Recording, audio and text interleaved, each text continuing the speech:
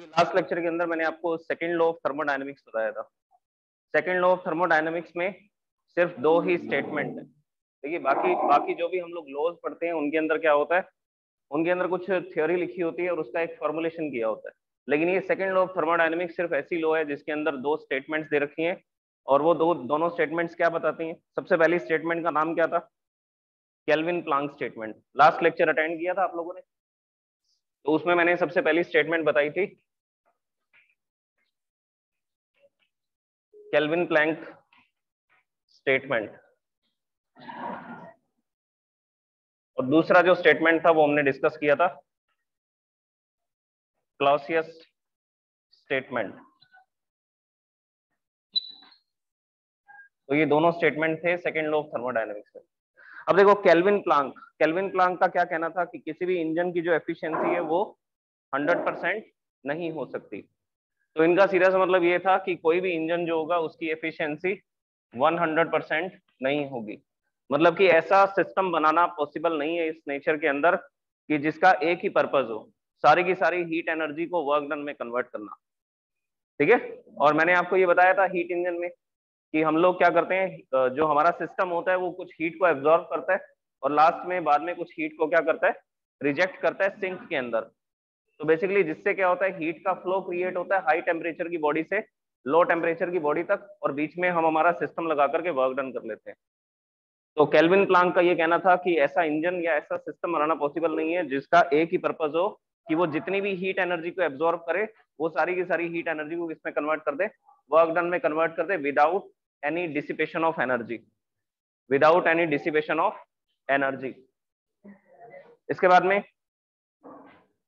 Next statement थी Clausius statement देखिए Clausius ने एक चीज़ क्लियर कर दी।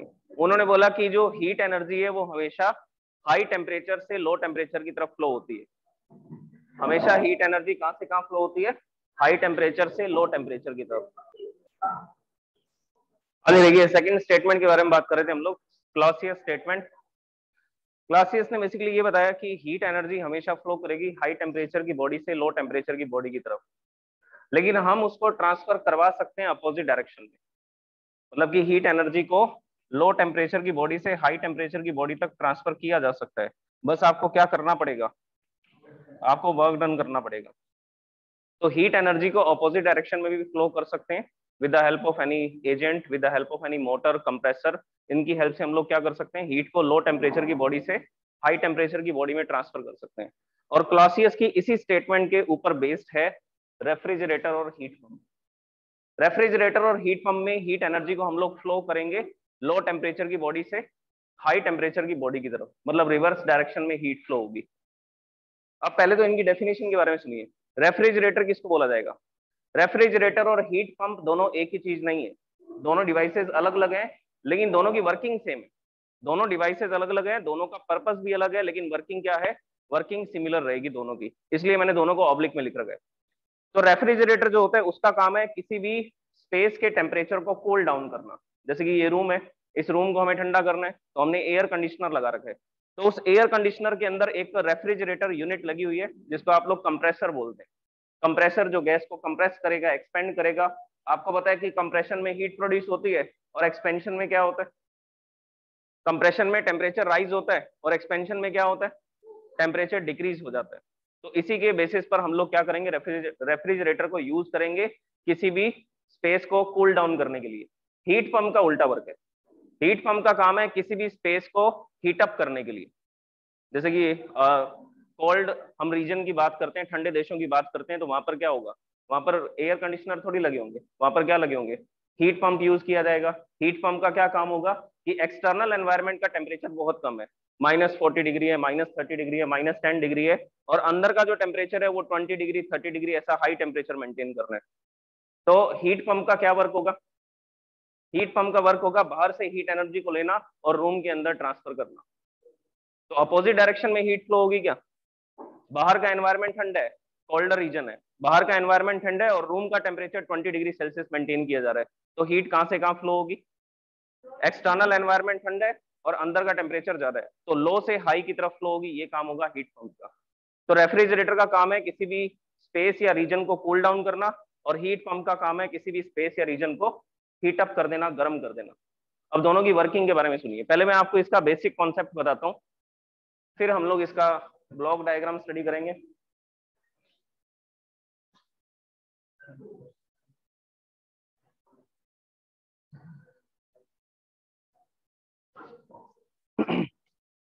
पहले रेफ्रिजरेटर के बारे में डिस्कस करते हैं।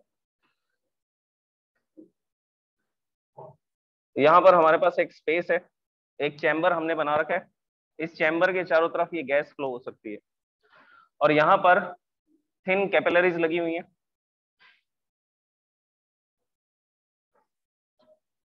आपने देखा होगा कि रेफ्रिजरेटर के पीछे की तरफ़ इस तरह का एक डिज़ाइन बना होता है। थिन ट्यूब्स होती हैं। इनको कैपिलरी ट्यूब्स बोलते हैं। कैपिलरी ट्यूब्स जिसका डायमीटर 0.03 मिलीमीटर के आसपास होता है, बहुत छोटी होती है ये।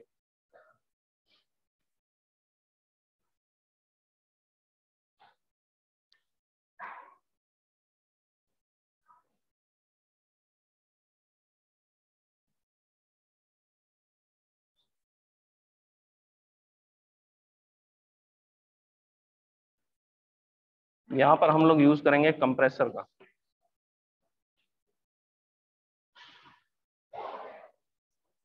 सिक्स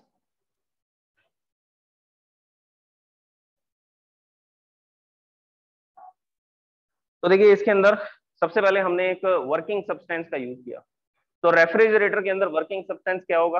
क्लोरोफ्लोरोकार्बन सीएफसी बोला जाता है क्लोरोफ्लोरोकार्बन या तो ये हो सकती है डाइक्लोरो डाइफ्लोरो मेथेन तो इस तरह की जो गैसेज है, देखो ये डाइक्लोरो डाइफ्लोरो मेथेन क्या होगा? जैसे कि आपने मेथेन के बारे में सुना होगा, जिसके अंदर कितने हाइड्रोजन होते हैं कम, जिसके अंदर कितने हाइड्रोजन होते हैं? फोर हाइड्रोजन और क्लोरीन और फ्लोरिन की हेल्प से हम इसको रिप्लेस कर सकते हैं। आपने सब्सटीट्यूशन रिएक्शन पड़ी होगी डिस्प्लेसमेंट रिएक्शन तो जब आप क्लोरीन गैस को इससे रिएक्ट कराओगे तो क्लोरीन क्या कर सकता है? ये दोनों हाइड्रोजन को डिस्प्लेस कर सकते हैं। इसी तरह से फ्लोरिन गैस से रिएक्ट कराओगे तो फ्लोरिन गैस भी किसको डिस्प्लेस कर देगी? हाइड्रोजन को डिस्प्लेस कर देगी और खुद हाइड्रोजन की जगह पर जुड़ जाएगी। इसको क्या बोलते हैं? डाइक्लोरो दो क्लोरिन है। डाइफ्लोरो दो फ्लोरिन है और क्या है? एक कार्बन है। एक कार्बन के लिए क्या बोला जाएगा? मैथ बोला जाएगा और सिंगल बॉन्ड है तो क्या लिखेंगे? ए एन ही लिखेंगे। तो ये इसका नेम हो गया। इसको क्या बोलते हैं? यही तो क्लोरोफ्लोरोकार्बन है। ओके तो ये हमारा वर्किंग सब्सटेंस है। अब ये वर्किंग सब्सटेंस देखिए क्या करने वाला है। यहाँ से सबसे पहले यहाँ का जो टेम्परेचर है वो है minus ten degree Celsius ammonia का भी यूज़ कर सकते हैं। अमोनिया गैस को भी यूज़ कर सकते हैं। वेपर लिक्विड स्टेट में उसको यूज़ किया जा सकता है। वो भी कूलेंट का ही रेफ्रिजरेंट का ही वर्क करेगा। कूलेंट का नहीं रेफ्रिजरेंट तो ये जो चैम्बर है, इसके अंदर जो गैस है, ये माइनस टेन डिग्री सेल्सियस पर है। पहले वर्किंग समझ लीजिए नोट डाउन नहीं करना है आपको। देखो इधर। यहाँ पर हमने क्या किया? एक ऑब्जेक्ट को रखा। ये जो ऑब्जेक्ट था, ये 20 डिग्री सेल्सियस पर था। ये ऑब्जेक्ट कितने डिग्री सेल्सियस पर था? 20 डिग्री सेल्सियस पर। जैसे कि मिल्क पड़ा था कर्ड पड़ा था, हमने उसको उठा करके रेफ्रिजरेटर के अंदर रख दिया। तो वो रेफ्रिजरेटर का ये वाला चैम्बर है। अब क्या होगा? हीट कहाँ से कहाँ जाएगी? ये 20 डिग्री सेल्सियस की बॉडी हीट को रेडिएट करेगी, क्योंकि सराउंडिंग का टेम्परेचर कितना है? Minus ten degree Celsius minus ten degree Celsius कौन एब्जॉर्व करेगा? ये सॉरी हीट एनर्जी कौन एब्जॉर्व करेगा? माइनस टेन डिग्री सेल्सियस की गैस एब्जॉर्व करेगी। तो यहाँ से हीट एनर्जी रेडिएट होती है और ये जो पार्टिकल है, यहाँ से हीट एनर्जी लेकर के गर्म हो जाते हैं और गर्म होकर के इसका टेम्परेचर फॉर एग्ज़ाम्पल कितना हो गया? ज़ीरो डिग्री सेल्सियस हो गया गैस का टेम्परेचर बढ़ गया। माइनस टेन से कितना हो गया? ज़ीरो अब ये जो गैस है, इसको हमने आगे की तरफ़ भेजा। ये इस पाइप के थ्रू आगे जाती है। यहाँ पर हमने क्या लगा रखा है? कंप्रेसर कंप्रेसर करेगा सडन कंप्रेशन अचानक से गैस को कंप्रेस कर देगा। बताइए टेम्परेचर राइज होगा या फॉल होगा? तो आंसर है टेम्परेचर राइज होगा। तो यहाँ पर ये जो ज़ीरो डिग्री सेल्सियस की गैस थी, जैसे ही यहाँ पर आती है कंप्रेशर उसको कंप्रेस करता है और कंप्रेस करने के बाद इस गैस को आगे ट्रांसफ़र किया जाता है। और ये वो जगह है जहाँ पर वो हीट एनर्जी को रिजेक्ट करेगा। अब देखो, जैसे ही सडनली कंप्रेस किया सडनली कंप्रेस करते ही इसका टेम्परेचर कितना चला गया? 100 डिग्री सेल्सियस चला गया इसके अंदर जो गैस थी। ज़ीरो से हंड्रेड कर दिया सडन कंप्रेशन करके अब हंड्रेड डिग्री सेल्सियस की गैस आगे जा रही है। तो यहाँ पर हंड्रेड डिग्री सेल्सियस की गैस है और जो सराउंडिंग है, उसका टेम्परेचर कितना है? ट्वेंटी डिग्री सेल्सियस अब क्या होगा? अब हीट एनर्जी का एक्सचेंज होगा। यहाँ पर हीट एनर्जी रिजेक्ट की जाएगी। किसको? सिंक को रिजेक्ट सराउंडिंग को रिजेक्ट की जाएगी। तो 100 डिग्री सेल्सियस की गैस जब इस पाइप के अंदर फ्लो करती है तो बाहर के एनवायरनमेंट का टेम्परेचर 20 डिग्री सेल्सियस है तो यहाँ से हीट एनर्जी एक्सटर्नल एनवायरनमेंट में फ्लो करना शुरू कर देती है। और धीरे धीरे इस गैस का टेम्परेचर 60 डिग्री सेल्सियस के आसपास हो जाता है। अब ये 60 डिग्री सेल्सियस की गैस इस पतली कैपिलरी ट्यूब के थ्रू पास की जाती है। और यहाँ पर आकर के क्या होगा? देखिए, ये थिन ट्यूब है। यस प्लीज़ ये थिन ट्यूब है, यहाँ पर आकर के ये जो कंटेनर है, इसमें बहुत सारी खाली स्पेस है। तो क्या हो रहा है? यहाँ पर हो रहा है सडन एक्सपेंशन तो ये वाली जो जगह है, ये एक्सपेंशन वाला प्लेस है। यहाँ पर क्या होने वाला है? एक्सपेंशन ये जो ट्यूब थी, ये काफ़ी थिन थी। और थिन ट्यूब से जैसी गैस बाहर आती है, इस चैम्बर के अंदर क्या हो जाती है? एक्सपेंड हो जाती है। तो यहाँ पर हम लोग कंप्रेशन कर रहे हैं और इस जगह पर क्या करवा रहे हैं? एक्सपेंशन करा रहे हैं। तो 60 डिग्री सेल्सियस की गैस इस थिन पाइप के थ्रू ट्रेवल करती है और जैसे ही यहाँ पर आती है, यहाँ आते ही वो फैलना शुरू हो जाती है। और सडन एक्सपेंशन में उसका टेम्परेचर फिर से फॉल हो जाता है, कितना चला जाता है? Minus ten degree Celsius refrigerator इस तरह से काम करते हैं। एयर कंडीशनर की वर्किंग भी यही है। एयर कंडीशनर के अंदर भी क्या लगा होता है? कंप्रेसर ही तो लगा होता है। तो उसमें क्या करते हैं? पहले गैस को कंप्रेस करके टेम्परेचर बढ़ा देते हैं, फिर सडनली उसको क्या करते हैं? फिर सडन उसका एक्सपेंशन करते हैं। और सडन एक्सपेंशन जैसे ही करते हैं टेम्परेचर कम हो जाता है और वहाँ पर हमने एयर कंडीशनर में एक फ़ैन लगा रखा है, एक मोटर लगा रखी है। तो यहाँ का टेम्परेचर अगर कम है माइनस टेन डिग्री सेल्सियस है और इसके आसपास कोई फ़ैन लगा होगा तो वो उस ठंडी हवा को कहाँ भेजेगा? रूम के अंदर ट्रांसफ़र करना शुरू कर देगा। So this is the working of refrigerator and air conditioner इसमें कोई डाउट है तो पूछू। कंप्रेसर हटा दोगे तो आप गैस को कंप्रेस खुद करोगे क्या? कंप्रेस करेगा तो माइनस ट्वेंटी डिग्री सेल्सियस की जो गैस थी सडन कंप्रेशन होगा तो उसका temperature sixty degree seventy degree ऐसा चला जाएगा। तो सेवेंटी डिग्री सेल्सियस की गैस जब यहाँ से पास होगी और रूम का टेम्परेचर कम है तो क्या होगा? हीट एक्सचेंज होगी कहाँ से कहाँ पे? ये जो पाइप है, इसके थ्रू हीट एनर्जी कहाँ पर आनी शुरू हो जाएगी? इस रूम में आनी शुरू हो जाएगी और रूम गर्म होना शुरू हो जाएगा। और उसके बाद जब ये गैस जब ये जो गैस है, वो हीट को दे चुकी है सराउंडिंग में, उसके बाद ये आगे जाकर के फिर से यहाँ आएगी। यहाँ से बाहर से ठंडी एयर लेनी है तो बाहर से ठंडी एयर ले सकते हैं। फिर से क्या करेंगे? फिर से इसको क्या करेंगे? कंप्रेस करेंगे कंप्रेस करके फिर आगे भेज देंगे। तो जो हॉट एयर है, उसको हम लोग क्या करेंगे? हमारे रूम के अंदर से पास करेंगे। तो धीरे धीरे रूम क्या होना शुरू हो जाएगा? गर्म होना शुरू हो जाएगा। तो वर्किंग अप्रोक्सीमेटली सेम है। दोनों के अंदर आपको एक वर्किंग एजेंट की ज़रूरत पड़ेगी। और वो वर्किंग एजेंट क्या है? एक कंप्रेसर और compressor is working with the help of motor और कंप्रेसर किसकी हेल्प से वर्क करेगा? एक मोटर की हेल्प से वर्क करेगा। कंप्रेसर के अंदर, देखो मैंने आपको इंजन की वर्किंग के बारे में बताया था, उसमें आपने एक पुली सिस्टम देखा था। इंजन के साथ में शाफ्ट होती है और शाफ्ट के साथ में क्या जुड़ी होती है? एक पुली जुड़ी होती है।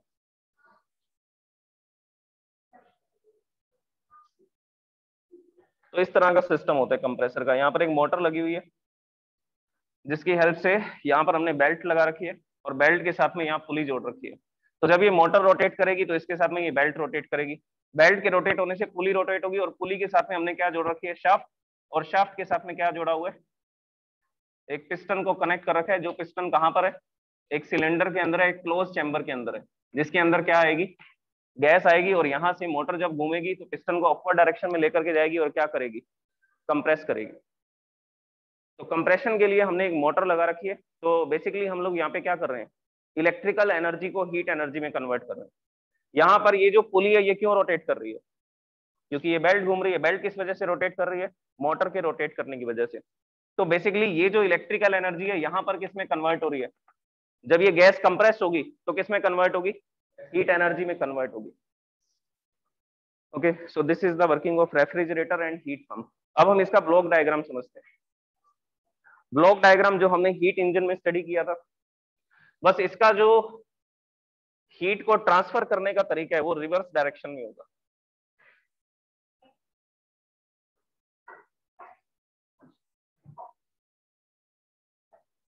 ब्लॉक डायग्राम में सबसे पहला जो था, वो था हीट सोर्स, और फिर यहाँ पर हमने लिखा हुआ था वर्किंग सब्सटेंस।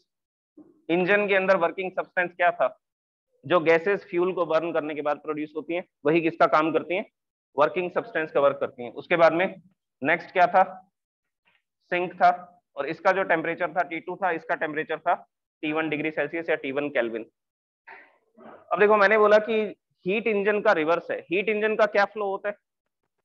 हीट इंजन से हीट एनर्जी एब्जॉर्ब की जाती है। कहाँ से? सोर्स से। सोर्स से जो हीट एनर्जी एब्जॉर्ब की जाती है, उससे क्या होता है? उससे होता है वर्क डन बाकी की एनर्जी कहाँ रिजेक्ट कर दी जाती है? सिंक में रिजेक्ट कर दी जाती है। तो ये तो हीट इंजन का डायग्राम हो गया। मैंने बोला इसका रिवर्स करना है। रिवर्स करने का मतलब है कि सिंक से एनर्जी को एब्जॉर्ब किया जाएगा। रेफ्रिजरेटर यही तो कर रहा है। हमारे पास जो ऑब्जेक्ट था, उस ऑब्जेक्ट से क्या लेनी है? हीट एनर्जी लेनी है। मैंने बोला था 20 डिग्री सेल्सियस के ऑब्जेक्ट को हमने रेफ्रिजरेटर में रख दिया तो उसको कूल डाउन करना है। कूल डाउन करने के लिए क्या करना पड़ेगा? उस ऑब्जेक्ट से हीट लेनी पड़ेगी। तो बेसिकली सिंक से या सराउंडिंग से हम हीट एब्जॉर्ब कर रहे हैं। ये जो हीट पंप है, ये हीट को एब्जॉर्ब कर रहा है। हीट को एब्जॉर्ब करने के बाद हम कंप्रेसर के थ्रू इस पर क्या कर रहे हैं? वर्क डन कर रहे हैं। तो ये एरो भी अपवर्ड डायरेक्शन में होगी। और बाकी की जो हीट एनर्जी है, वो कहाँ दे दी जाएगी? वो रिजेक्ट कर दी जाएगी सोर्स में। अब सिंक क्या चीज़ है रेफ्रिजरेटर में? अभी मैंने डायग्राम बनाया था। हीट एनर्जी किससे ले रहे हैं हम? ऑब्जेक्ट से ले रहे हैं या सराउंडिंग से ले रहे हैं? शाबाश। हीट एनर्जी ऑब्जेक्ट से ले रहे हैं। किसको कूल डाउन करना था? ऑब्जेक्ट को कूल डाउन करना था। जैसे अभी मैंने बताया था मिल्क या कर्ड है, हमने उसको रेफ्रिजरेटर में रखा ठंडा होने के लिए। तो उससे ही तो हीट एनर्जी लेनी है। तो सिंक क्या है? रेफ्रिजरेटर के अंदर सिंक है ऑब्जेक्ट जिससे हीट एनर्जी एब्जॉर्ब की जाएगी। उसके बाद वर्किंग सब्सटेंस वर्किंग सब्सटेंस क्या है? क्लोरोफ्लोरोकार्बन जिसको हम लोग क्या करेंगे? कंप्रेस करेंगे। कंप्रेस करने के बाद मैंने आपको बताया था कि वो जो गैस है, वो सराउंडिंग के कॉन्टेक्ट में होती है और धीरे धीरे हीट को क्या करती रहती है? रिजेक्ट करती रहती है। तो यहाँ पर जो सोर्स है, यहाँ पर जो हीट रिजेक्ट की जा रही है, वो सराउंडिंग में की जा रही है। रिवर्स है। हीट इंजन में क्या था? सोर्स से हीट लेते थे और सिंक में रिजेक्ट करते थे। उसमें सिंक क्या होता था? सराउंडिंग्स लेकिन यहाँ पर सिंक यहाँ पर सराउंडिंग क्या है? यहाँ पर सराउंडिंग हीट सोर्स है और सिंक क्या है? सिंक वो ऑब्जेक्ट है जिससे हीट एनर्जी ली जा रही so this is the reverse working of the heat engine heat engine की रिवर्स वर्किंग है ये। अच्छा अब इसमें हीट इंजन में हमने एक कैलकुलेशन की थी एफिशिएंसी एफिशिएंसी का फॉर्मूला क्या था? एफिशिएंसी को ईटा से लिखते थे और फॉर्मूला था आउटपुट डिवाइड बाय इनपुट लेकिन यहाँ पर हम एफिशिएंसी नहीं बोलेंगे। यहाँ पर हम लोग एक नया सिंबल यूज़ करेंगे, नई क्वांटिटी को यूज़ करेंगे that is called coefficient of performance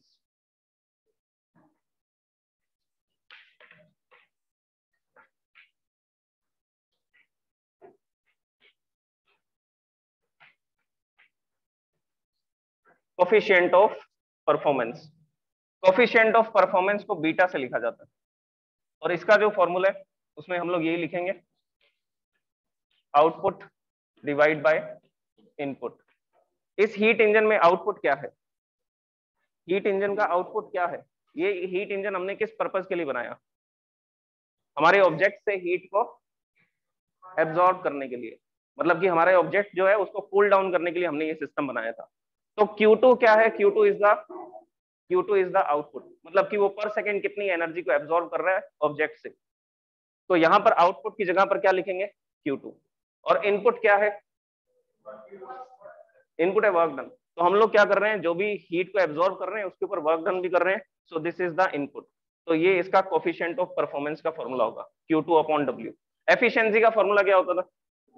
efficiency का फॉर्मूला होता था वर्क डन हीट इंजन हमने क्यों बनाया था? ताकि वो कुछ मैकेनिकल वर्क करे, जिसकी वजह से फोर्स क्रिएट हो और हमारा जो बाइक या कार है, वो आगे की तरफ़ मूव करना स्टार्ट करे। तो हीट इंजन का आउटपुट था वर्क डन और वो कितनी एनर्जी को एब्जॉर्ब करता था, वो उसका इनपुट था।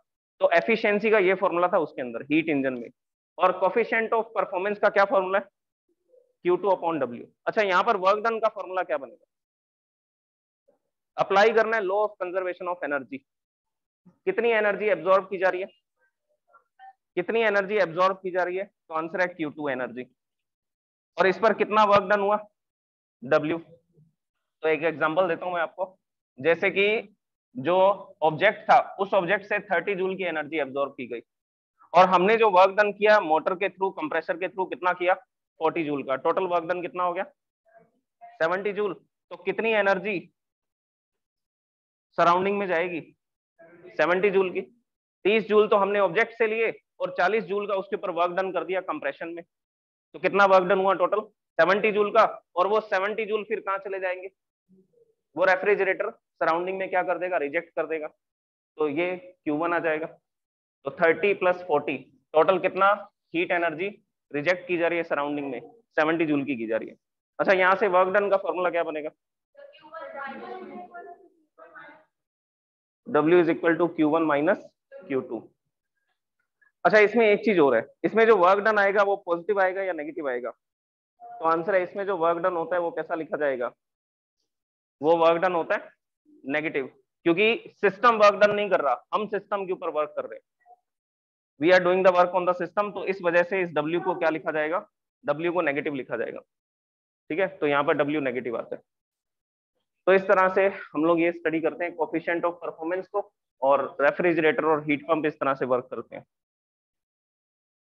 ओके अब इसमें एक दो फॉर्मूलाज और मैं आपको बना देता हूँ, उसको डिस्कस कर लेते हैं। इसको एक तरीके से और भी समझा जा सकता है। Law of conservation of energy से तो मैंने आपको बता दिया, लेकिन इसको फ़र्स्ट लॉ ऑफ़ थर्मोडाइनमिक्स से भी अंडरस्टैंड कर सकते हैं।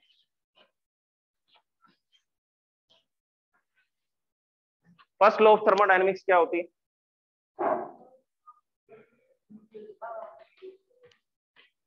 dq is equal to D U plus D W system को जितनी भी हीट एनर्जी दी जाएगी, उससे दो वर्क होंगे। उसकी इंटरनल एनर्जी इंक्रीज होगी। और वर्क डन होगा। तो हम लोग किसी भी गैस को जब एनर्जी देते हैं तो वो या तो उससे क्या होती है? उससे उसका टेम्परेचर राइज होता है। टेम्परेचर राइज होने का मतलब है उसकी इंटरनल एनर्जी इंक्रीज होगी। और क्या होगा? कुछ वर्क डन होगा। मतलब गैस जो है वो एक्सपेंड भी हो रही है। पार्टिकल एक दूसरे से दूर दूर भी जा रहे हैं तो एक्सपेंशन में क्या होता है? वर्क डन होता है। तो ये फ़र्स्ट लॉ ऑफ़ थर्मोडाइनमिक्स है। अगर इसको अप्लाई करते हैं इस जगह पे तो बेसिकली कितनी हीट एनर्जी सोर्स से एब्जॉर्ब की जा रही है। कितनी हीट एनर्जी ऑब्जेक्ट से एब्जॉर्ब की जा रही है? थर्टी जूल की हीट एनर्जी एब्जॉर्ब की जा रही है सेवेंटी जूल की रिजेक्ट की जा रही है। तो Q2 two minus Q one this is the heat energy absorb from the object और du इसमें क्या आएगा? du ज़ीरो आएगा। du ज़ीरो क्यों आ रहा है? क्योंकि gas minus ten degree Celsius पर थी और दोबारा से घूम करके कंप्रेशन होने के बाद दोबारा एक्सपेंड करते हैं तो फिर से कितने पर आ जाती है? माइनस टेन पर आ जाती है तो सिस्टम जो है वो इनिशियल स्टेट में आ जाता है। अगर सिस्टम इनिशियल स्टेट में आ जाता है तो ये कैसी प्रोसेस है तो आंसर है ये साइक्लिक प्रोसेस है। और साइक्लिक प्रोसेस में क्या नहीं होता? इंटरनल एनर्जी में कोई चेंज नहीं होता। तो डी यू की वैल्यू ज़ीरो आएगी और प्लस में डी डब्ल्यू क्या है? Work done so this is the work done और ये जो वर्क डन होगा, ये कैसा आएगा? ये नेगेटिव वर्क डन होगा। Because we are doing the work on the system अच्छा अब यहाँ से W का फॉर्मूला क्या बनेगा? ये आ रहा है। Minus W is equal to Q two minus Q one दोनों तरफ़ माइनस का मल्टीप्लाई कर दो तो ये तो हो जाएगा प्लस डब्ल्यू और ये हो जाएगा माइनस क्यू टू ये हो जाएगा प्लस क्यू वन तो वर्क डन का फॉर्मूला क्या बनेगा? वर्क डन का फॉर्मूला बनेगा Q one minus Q two ये फॉर्मूला आएगा। तो कॉफिशियंट ऑफ़ परफॉर्मेंस को और भी चेंज किया जा सकता है। एक फॉर्मूला तो होगा क्यू टू अपॉन डब्ल्यू और डब्ल्यू की वैल्यू पुट कर देंगे तो क्या आएगा? डब्ल्यू की वैल्यू पुट कर दोगे तो ये आ जाएगा Q one minus Q two अच्छा इस फॉर्मूला को एक तरीके से और भी लिख सकते हैं। वो लिख सकते हैं T two divide by T one minus T two temperature की टर्म्स में भी लिख सकते हैं। क्योंकि हीट इंजन में याद करो, मैंने आपको ये बताया था कि एफिशिएंसी के दो फॉर्मूला होते हैं। पहला फॉर्मूला क्या होता है? One minus Q two upon Q one दूसरा फॉर्मूला होता है one minus T two upon T one तो ये फॉर्मूलाज थे एफिशिएंसी के। तो यहाँ से हमने प्रूफ किया था कि Q two upon Q one is equal to T two upon T one तो उसके बेसिस पे हम लोग क्या कर सकते हैं, इनको चेंज कर सकते हैं क्वांटिटीज को। क्यू टू की जगह पर टी टू आ सकता है Q one minus Q two के प्लेस पे क्या लिख सकते हैं? T one minus T two लिखा जा सकता है। तो मैथमेटिकली इन फॉर्मूलाज को चेंज किया जा सकता है। तो ये हो गया किसके बारे में? रेफ्रिजरेटर के बारे में हीट पंप के बारे में। Chapter finished